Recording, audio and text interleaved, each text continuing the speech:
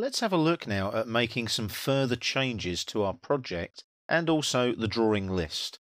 I'm going to expand the project manager. I'm going to hover there, see the little arrows, click and drag. I'm going to make that bigger so that I can see what I'm doing.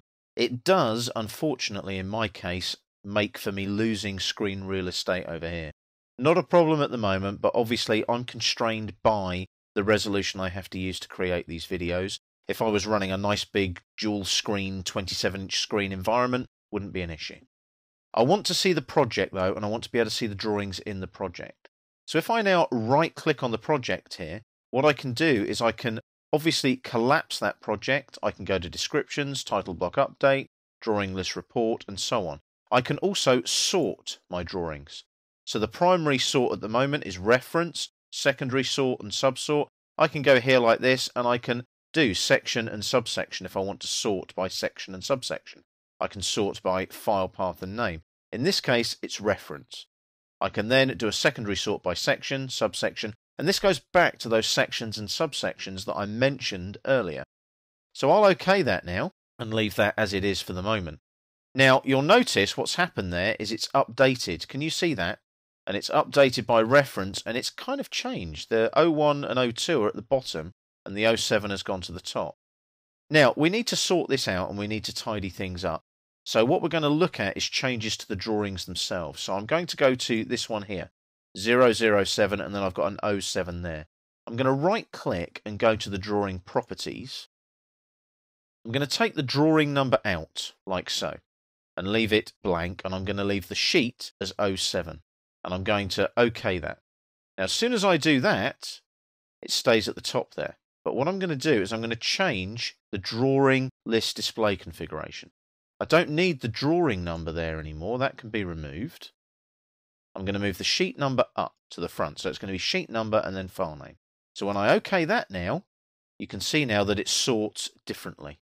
But I've still got sheet numbers here.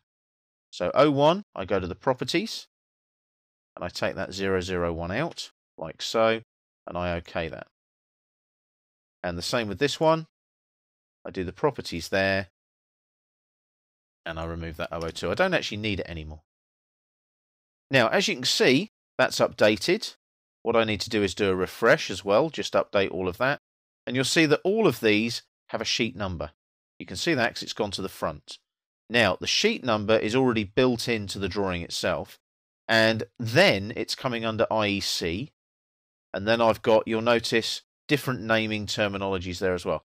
So that drawing configuration might need a little bit more work. So what I can do is I can do sort and sort by reference. What I might do instead is sort by section or subsection or sort by file path and name. Let's try that and see what happens there. As you can see, it changes again because of the different file paths. So I've got to be careful how I set this up. When I do the sort, I've got to make sure that I sort appropriately. So I go for reference or I go for section If I go for section there, what happens then? Again, different numbering. It updates each time. So you've just got to be careful how you set this up in your project and in your settings. At the moment, it's not really an issue. You can see the sheet number, you can see what the drawing is. However, I can display other information. So let's say, for example, on the bill of materials there, I right click and I go to properties. And what I want to show is some more information. Maybe I want to show there that this is the bill of materials. So I'll actually type that in as a description field. Bill of materials like so, and I'll OK that. Now, it won't actually show anything until I actually change the settings of what displays in the project. Do you remember where we went? We went here, didn't we? I've got sheet number and file name. What I need to do is add description 1. So I'll add that there at the end and I'll OK that. And it shows bill of materials. So you can actually add a physical description because BOM might not mean anything to somebody. Bill of materials does. Obviously, in this case, BOM, we all know what it stands for. But the idea being is that we can actually apply a text descriptor or description to our drawing so that people can understand what they are. Now you'll notice 01 and 02 did have descriptions, which were contents and power. So you can see there how this works. You can add information so that people can understand what changes are there, but more importantly, what descriptions are there as well. so that you can go in and change them if you need to. So using this further changes exercise here, I've shown you how you can go further in the drawing manager and in the project manager to make sure that everything is showing as it should in the list so it's easily understandable and drawings are easily found.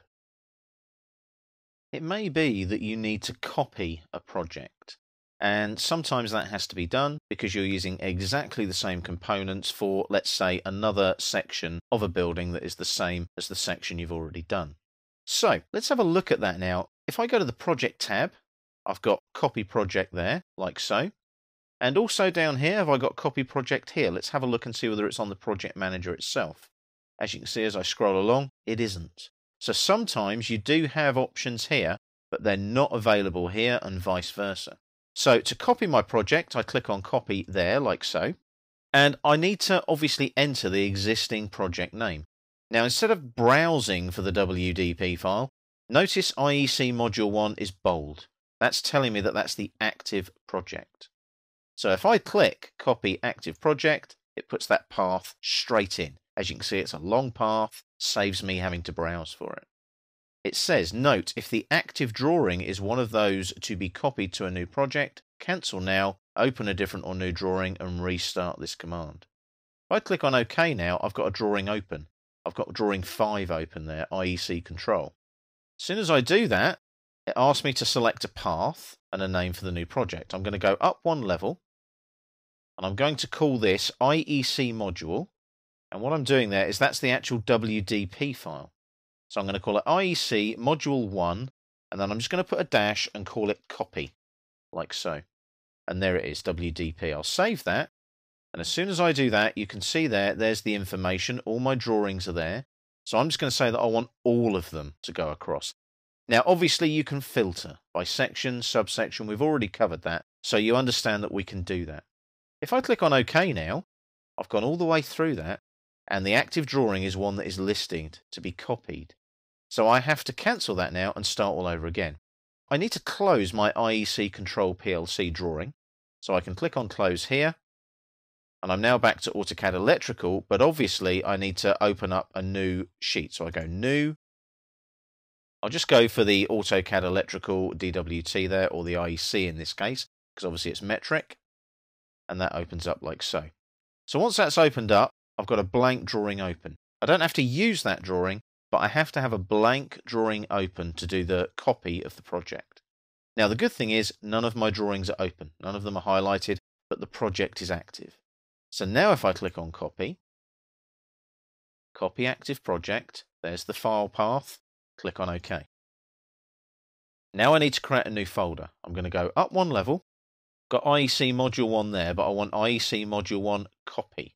So I'm going to create a new folder to put it in first and my new folder is there. So I just need to rename that now. Takes a few seconds, and I'll just do a rename there. And I'll call that IEC module 1 copy. Slightly different typing there, but again, this is just a demo folder to show you that I'm going to save that in there. So I'm going to go in there. Because I typed that in previously, I can go and find a file. It's a big long path though, so I'll just type it in. So I'll type IEC module 1 dash copy like so and that's the WDP file. So I'll click on save and that saves that in my copy folder. Now I can select all the drawings again. Obviously I could reset that and do it by section or subsection. I just want them all to come across purely for this training exercise. So I'll click on OK. This time I haven't had that cancel because a drawing is open copies of the drawing will be copied to the new path if the directory path does not exist, it will be created for any new drawings. So when I click on OK, there's all my drawings. It's a big long path, so I do need to scroll all the way across here, like that, to check my drawing names. But if you look at those drawing names and the drawing paths, there's the drawing names at the end, DWGs, but look at the folders. Can you see there's the drawings folder, IEC Module 1 copy. I can find and replace any drawings that I might need to remove or update, and I can also include the drawing path there if I need to. In this case, I don't need to because I know that all my drawings need to go across. So I'm going to click on OK. It takes a few seconds to do this, mind. It updates, and you'll see now that not only has it opened up the new project. Can you see there? It's now the most current project. It's active. But it's also opened up the contents drawing, which is the first drawing. Now, if I right click there and remember to check all of my sort and so on, and then I'll just escape that. The other thing I need to check, list display configuration. So I've got sheet number there. I need to make sure that sheet number is shown. So there's sheet number. I'm going to actually remove that, and then I'm going to add it again. So sheet number, and then add that again. I'm going to move it up, like so, and OK that. And as soon as I do that, it updates. Now you will need to do that. When you do a project copy, you need to update things like your sheets and so on to make sure that everything is where it should be. So your sheet numbers are in the right place, your drawing list descriptions are right, and so on. So always do a sanity check and make sure that that's all okay once you've done a project copy in the project manager.